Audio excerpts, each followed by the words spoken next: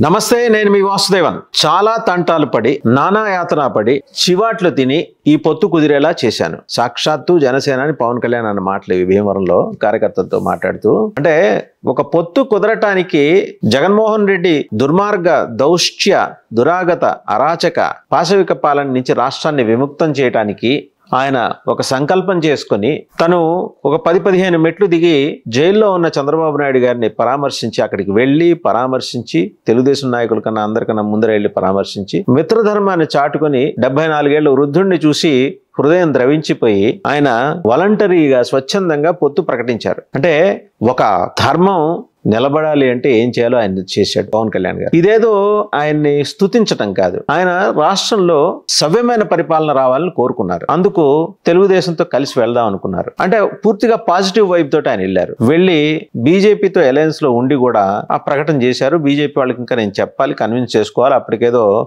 Global summit నడుస్తుంది కాబట్టి ప్రధానమంత్రికి అలాగే బీజేపీలోని ఇతర నాయకులకి కూడా చెప్పుకోలేకపోయాము. తర్వాత చెప్తాను కన్విన్స్ చేసుకుంటాను. ఇవాళ ఓపెన్ అయ్యారు ఆయన. ఓపెన్ అయ్యి ఆయన అన్నదేంటి?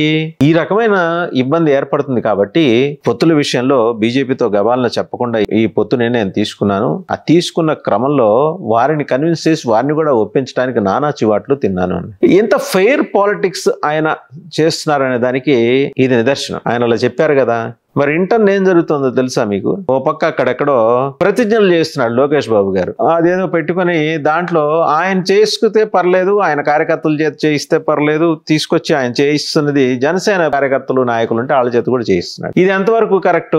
అక్కడేమో పొత్తు ధర్మం గురించి ఆయన దానికి కట్టుబడి ఆయన ఎలా ఉన్నారు? సర్దుకుపోదాం అని ఆయన చెబితే సర్దుకుపోవడం అంటే ఇదా? పక్క పార్టీ కార్యకర్తలను పిలుచుకొచ్చి వాళ్ళ చేత ఇలా పొత్తు ధర్మం ఉల్లంఘన జరిగేలాగా చేసి ఏమని చెప్పిస్తున్నాడు? చంద్రబాబు నాయుడు ముఖ్యమంత్రి. మీరు చెప్తే మీరు చెప్పుకోండి ఇంకో పదేళ్ళు కావచ్చు వందేళ్ళు ముఖ్యమంత్రి ఆయనే అని చెప్పుకోవడం తప్పు లేదు. మీ పార్టీ మీ నాయకుడు మీ పార్టీ జాతీయ అధ్యక్షుడు చెబుతున్నది సాక్షాత్తు జాతీయ ప్రధాన కార్యదర్శి లోకేష్ నాయుడు గారు కాబట్టి. నథింగ్ రాంగ్ అని ఎవరికి ఎట్లాంటి అబ్జెక్షన్స్ కూడా ఉండడానికి లేదు. పక్క పార్టీ వాళ్ళ చేత ఊళ్ళో వాళ్ళందరి చేత చెప్పిస్తానంటే ఎట్లా? ప్రత్యేకించి పొలిటికల్ పార్టీ పొత్తులో ఉన్నంత మాత్రాన మీలో కలిసిపోయినట్టు మెరిజర్ అయినట్టు కాదుగా? ఎలా చెప్పిస్తారు? దీని మీద చాలా అబ్జెక్షన్స్ వచ్చినాయి. సరే అది పక్కన పెట్టండి.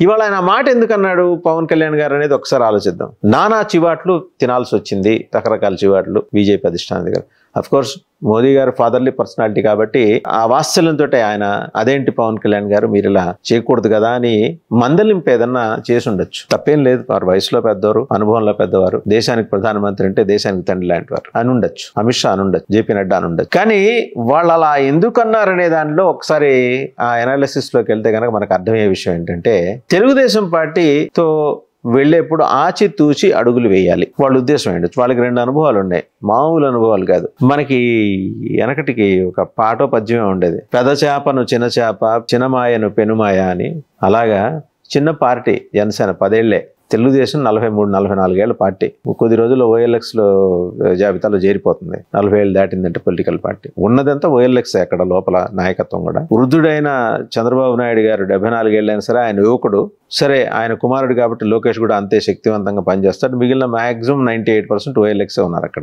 ఆ విషయం పక్కన పెడదాం. వాళ్ళతో జాగ్రత్తగా ఉండాలని. పవన్ కళ్యాణ్ గారు చెప్పింది ఏంటి? తన కార్యకర్తలకి ఒక పెద్ద బూర్జువాని కొట్టేప్పుడు చిన్న బూర్జువాతో కలిసి వెళ్ళాలి మనం. తప్పదది. ఊళ్ళో ఉన్న వాళ్ళందరినీ శత్రువులను చేసుకోలేం కాబట్టి. అలాగని రేపు చిన్న బూర్జువాతో కలిసి మనం అధికారం చేపట్టిన తర్వాత చిన్న బూర్జా బూర్జువాకి మనం ప్రతిపక్షంగానే కనపడాలి. అలాంటి దిశాల వ్యక్తిత్వాన్ని మనం కనబరచాలి. మన పార్టీ గాని మన నాయకులు గాని కార్యకర్తలు గాని అనేది ఆయన అంతర్లీనంగా ఆయన చెప్పాలనుకున్నది రెండోది తెలుగుదేశానికి కూడా ఆయన ఏం మెసేజ్ పంపించారు?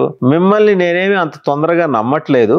జగన్మోహన్ రెడ్డి దుర్మార్గపు పాలన నుంచి రాష్ట్రాన్ని విముక్తం చేయడం కోసం మాత్రమే మీతో ఎన్నికల పొత్తులో వస్తున్నాను అనే విషయాన్ని అన్యాపదేశంగా చెప్పారు. ఆ విషయం కార్యకర్తలు అర్థం చేసుకోవాలి నాయకులు శ్రేణులు అర్థం చేసుకోవాలి. రెండు వేల తొమ్మిదిలో మిస్ అయింది రెండు వేల ఇరవై నాలుగులో సాధించి తీరుతామని చెప్పిన దానికి పవన్ కళ్యాణ్ గారు కట్టుబడి ఉన్నారు. అది కూడా అర్థం చేసుకోవాలి. ఇదండి సంగతి. అర్థమైన వాళ్ళకి అర్థమైనంత చేసుకున్న వాళ్ళకి చేసుకున్నంత.